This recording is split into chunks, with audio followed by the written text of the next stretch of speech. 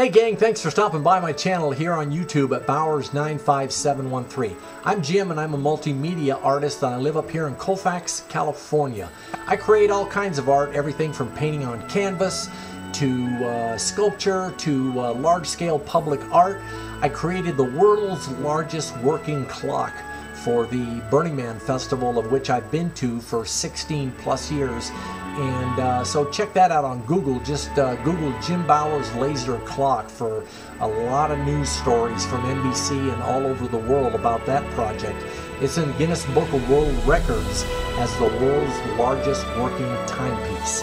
So check out a few of my videos. If you want to look at something I've created lately, check out some of my drone quadcopter videos.